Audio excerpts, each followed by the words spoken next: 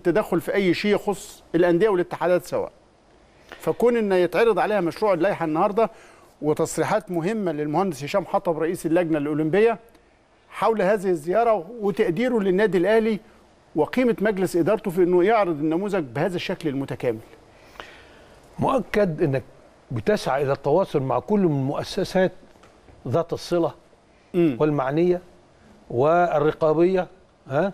والسيادية وأنت بتعمل لائحتك يبقى هذا كلام آه معناه إنك أنت مش عايز تعمل حاجة آه ممكن تطلع تخالف صحيح القانون أو تتعارض مع لائحة من لوائح الجهة المسؤولة عنك. هذه الزيارة بتضع كثير من النقاط على الحروب أي. يمكن من ثمارها شيء إحنا كنا نتمنى أن يتواجد وكنا فرحانين بيه قوي الاقتراح بتاع المجمع الانتخابي اللي هو يجي المجلس الانتخابي. المجلس الانتخابي. مجلس مجمع مش المشكلة فكرة الم- المجلس الانتخابي إن هو يجي هو بيدير آه الانتخابات وإن النادي بيسلمه النادي قبليها. اتضح إن القانون ما بيقولش كده لأن ال- ال- اللي, اللي بيشرف على الانتخابات هو اللجنة الأولمبية وهي اللي بتحدد مين اللي يترشح ومين لأ. هي اللي بتراقب؟ سلامة الإجراءات. مش بس اللي ترشح مين. ما, ما دي ده احدى التفصيلات. أنا مش عايزة نختزلها في تفصيله هي اللي بتراقب العملية الانتخابية وسلامتها. من أول تنقيه كشوف المرشحين وتنقيه كشوف الناخبين إلى ال- الإجراءات نفسها. آه إنما قد لا يمنع هذا أن يبقى في أدوات مساعدة في النهاية.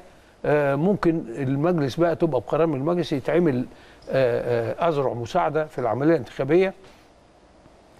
ودي أهمية التواصل مع الجهات المسؤولة.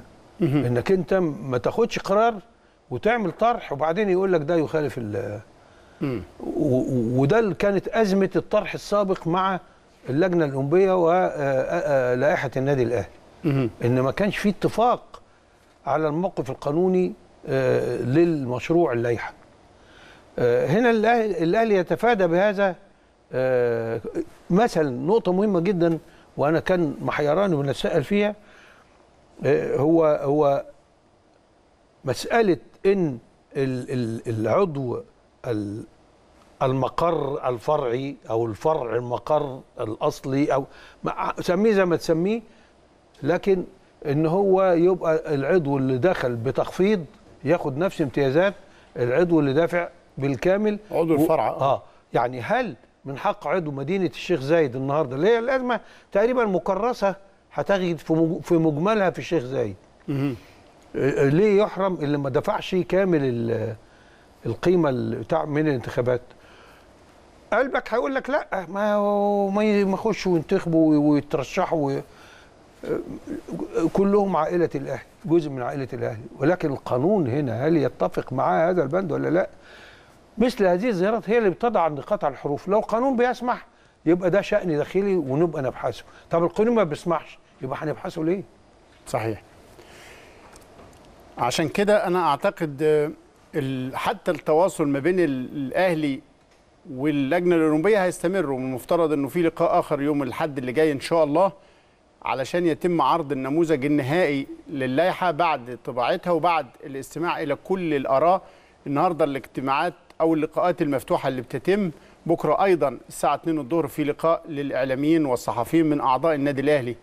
مع آه، أعضاء اللجنة المركزية أيضا لإبداء الرأي حوالين هذه اللائحة. اللجنة المختصة بتستقبل كل الملاحظات وبتبدأ تعيد الشكل النهائي في صيغته. اللي المفترض بإذن الله يوم 9 يظهر الشكل الأخير يوم الأحد إن شاء الله. هيتم عرضه على اللجنة الأولمبية عشان تقول الرأي الأخير منها قبل الاستفتاء عليه يوم 28 إن شاء الله.